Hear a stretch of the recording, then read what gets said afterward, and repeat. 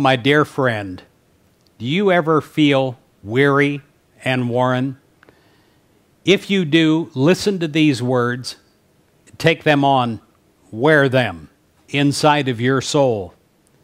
Ephesians 6, verses 10 says this Be strengthened by the Lord and by God's, listen to this, vast might.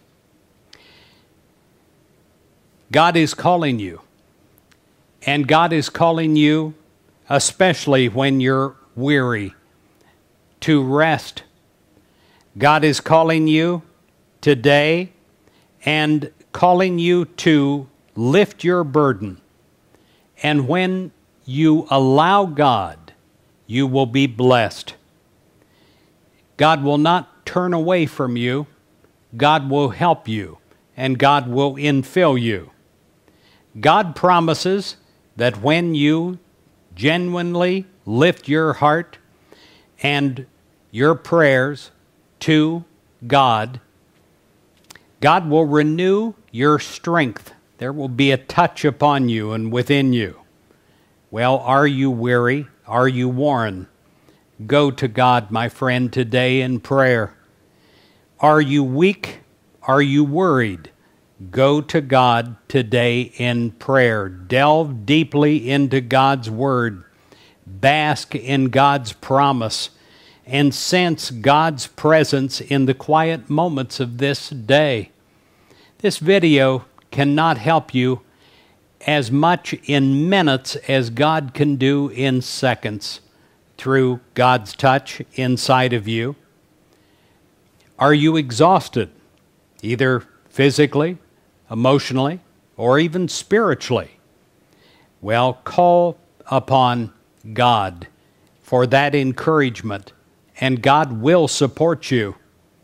And God will aid in your strength because God, your Creator, is always available. And God will never let you down in any way. To the contrary, God will lift you up when you ask God to do so. And it will come so quietly, so gently, so swiftly, you won't even realize it is happening right away. You'll know later on when you feel better that something miraculous has occurred. So, if you're weary and worn, if you're exhausted, if you just feel as if you need to go back to bed, well, today. Pray today. Receive today. Allow the blessed promises of renewed strength to be a part of your 24 hours. It will change more than your day.